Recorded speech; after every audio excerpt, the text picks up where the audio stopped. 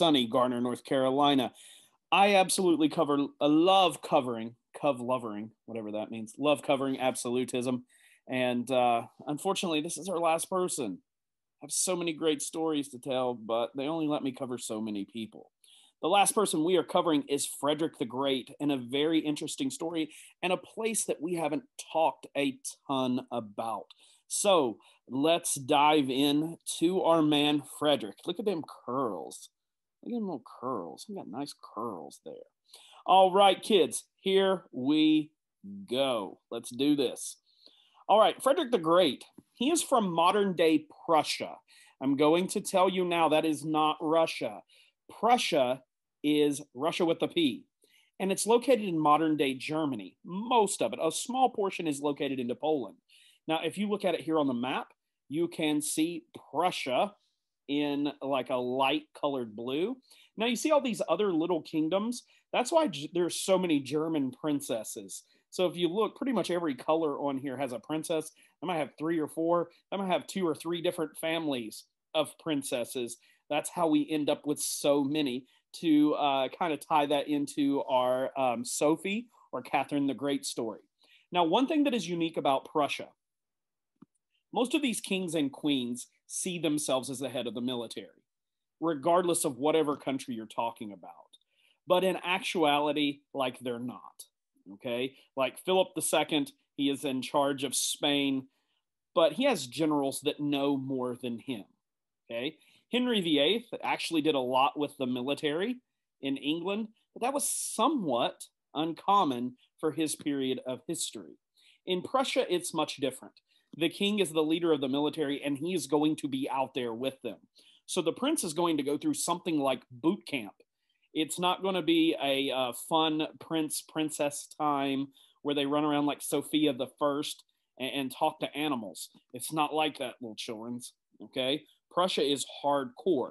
They are known for how good their soldiers are. They have an elite corps of soldiers, so much so that other countries hire people from the Prussian army. So if you retire from the Prussian army, another country would say, hey, we'll pay you to come fight for us. Uh, you look no further than the American Revolution, the 13 colonies guys. Part of uh, who the Patriots were fighting are Prussian soldiers that the British had hired as a part time army. All right. So, again, elite corps of soldiers. They're more like modern day Spartans if you uh, are interested in ancient history and know how great of soldiers that the Spartans were. So, this is going to make life a little bit different on Frederick. Frederick is, is expected to do all these military things, and he does them. He does what his father asks, but he has some other focus. One, he tries to learn Latin. He enjoys learning these other languages. He reads a lot. He likes to paint, and he loves to play music. His dad thought a good portion of what he was doing is a waste of time and doesn't advance this military career. We see his dad destroy his art supplies, his dad throws his books away. We have evidence that there was a lot of physical abuse of Frederick. Okay. Now, if you think about it, like Frederick's not doing drugs, like he's learning Latin. If I came home, my son's door is shut, I push open the door and I say, What are you doing? And he's like, um, I'm learning Latin. And I'd be like, wow, that's pretty impressive. This dad that thinks that it doesn't help advance his military career. So you're going to see him be very harsh on Frederick. Um, later on in life, and we have another picture of Frederick here, and I'll mention this because I mentioned it already. The curls, look at them little curls. You see, most people wore wigs back then, especially men that are in the military. All right, so that's not his real hair.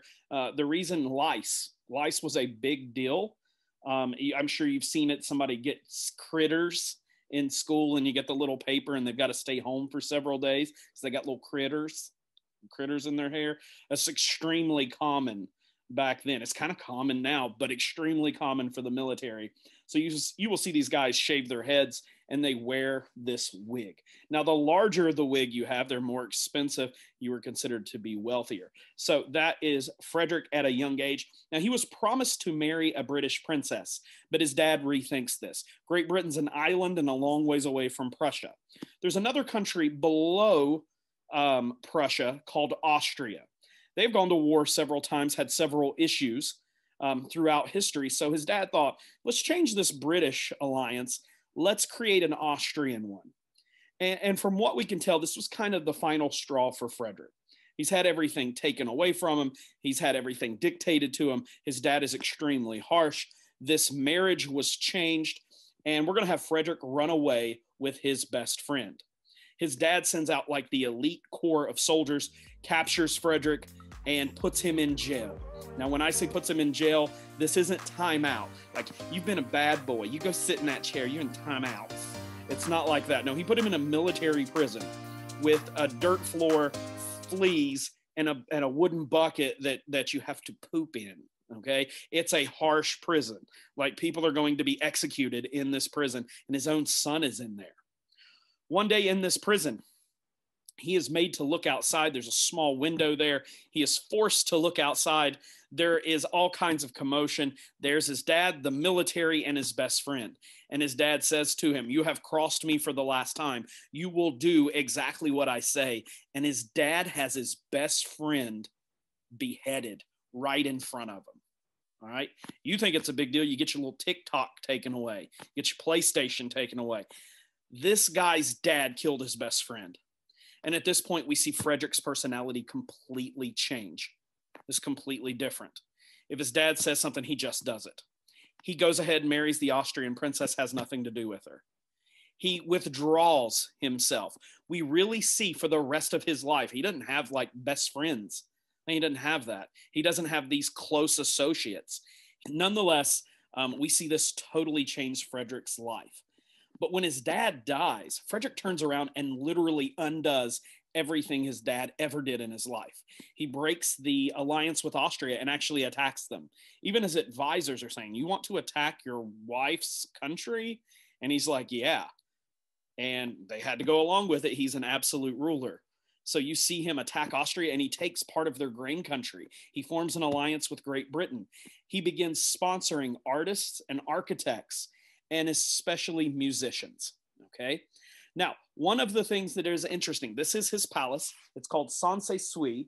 And ironically enough, he was fascinated with a lot of the architecture and music accomplishments of the Bourbon dynasty in France. Okay, remember Louis XIV? He's fascinated with them. Strangely enough, he also goes to war with France at one point. But nonetheless, um, this is his palace. And he's going to have lots of musicians and artists come to this palace and live. Now, Frederick is an interesting person in history. We have this tough childhood that we talked about, but he's kind of like double famous. Okay? He's kind of like double famous. It's rare that you see this in history. We'll talk about Babe Ruth for a second in baseball. Babe Ruth, for the majority of my life, is the home run king. Um, we, we think about his, his wonderful at bats, his ability to hit home runs, but most people don't realize he started out as a pitcher and he would have been a Hall of Fame pitcher had he never picked up a baseball bat. He was just that good a player, that good a pitcher, and that good of a hitter. Um, the guy that invented the toy train, he also invented the flashlight. So he has kind of double fame there. He did two amazing things. The two toy trains and flashlights don't really put the two together. Okay. Frederick the Great was a very accomplished musician. Go to YouTube, type in Frederick the Great, a flute and you will see that he is not quite like Bach or Beethoven, but as far as like classical musicians go, like he's up at the top of the list. He's a famous musician. So not only is he an absolute ruler, he's a famous musician. So it's interesting. He has, has this like double fame. Okay, let's talk about him. This tragedy with his father and his best friend probably shaped the rest of his life because you are going to see that in his kingdom, like the news with absolute rulers, most of the time the absolute ruler had to say, if you print something about me, it has to be good. He says you can print whatever you want. So the news can say bad stuff, they can say good stuff. He gives freedom of the press. This is unheard of for an absolute ruler. All right. He gives freedom of speech. You can say what you want to here. He gives freedom of religion. So we have a person who is all powerful that gives tons of rights. This is so unique in history. You just don't really find very many places where this happens. He gives so much religious freedom that we're actually going to see this pop back up in history. Um, throughout the world, especially in Europe um, at this point, especially within to Russia, um, you, you had a lot of persecution of Jewish people. He is going to say, hey, if you're having problems, move here. We won't bother you. Prussia eventually becomes German. Okay, it becomes Germany. So we see even in World War II, um, we, we talk about the Holocaust and the Jewish population within Germany. This is the period of history where, where Jewish people were welcomed into Germany. And this is where you start to see their population grow inside of Germany. And, and then later on, hundreds of years later on, there is the Holocaust, and we will talk more about that.